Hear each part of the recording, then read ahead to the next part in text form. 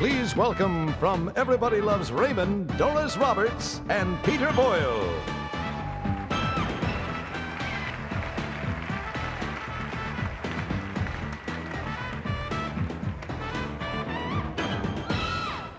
Well, it's wonderful to be here as ourselves, not as our characters on the show.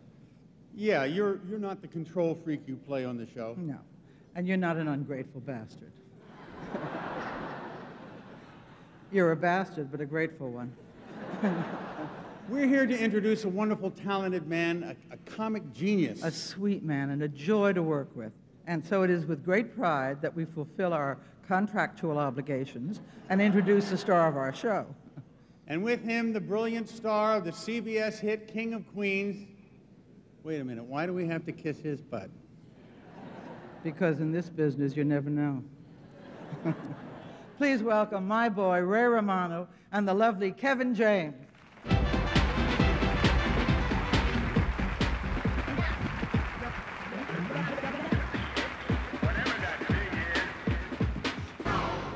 Thank you. Thank you, ladies and gentlemen. Uh, we're here to present the award for Best Stand Up Comic of the Year. which is uh, pretty neat because we, uh, we both started in stand up. We did. We did. I don't know if uh, the people know we're very good friends, Kevin and I. We started in stand up, uh, we played the clubs together, we struggled together, and now we're here. We're in, we're in show business Yeah, together. right. Yeah. We're, we're, more, we're more Oh, like, yeah, we're, we're like the fatter and uglier version of Ben Affleck and Matt Damon. Yeah. Yeah, Yeah. Yes, I see that. Yeah. Yeah. Yeah. Yeah. But we're, we're not as talented as yeah. them. And I, I bet they smell better. Oh, yeah. Yeah. Yeah. Yeah, but I'm glad we're presenting for stand up because uh, stand up, I know you've heard it before, but it is an art form. Uh, a lot of comics make it look easy, Yep. but I don't think the people know the, the intricacies of a well woven stand up act. Right. So Kevin is going to perform stand up for you, and I'm going to break down exactly what he's doing. Yeah. Okay, yeah. Go right ahead. Ladies and gentlemen, Kevin James. Hey, thank you. Thank you very much, folks. I was just listening to you backstage, and I got to tell you, you sound like a great audience. Okay, that's the standard, uh, that's the suck up opening for the audience. Yeah, it gets the audience on your side. I'm from New York. Any, uh, any New Yorkers? Okay, he's getting a response from the audience. That's breaking the ice, basically.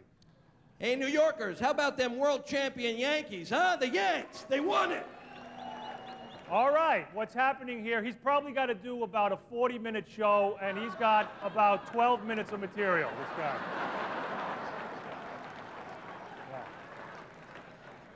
So, what do you guys want to talk about? Okay, good, a heckler. Good. Good. No, this is good because this gives a comedian a chance to, uh, to ad lib and show the audience who's uh, in control here. It- you gotta be, you gotta go right on them. Hey, An audience can sense fear. It's important. Okay, he's in trouble. No, but what happens now is uh, uh, he's in the hole, but he can still win the audience back if he plays his cards right. Okay, he's throwing up. He's throwing up. Okay, all right, that's all right. It's okay. All right. All right, That's yeah, that can happen on any given night. That can happen. okay, That's all right. You all right? Yeah.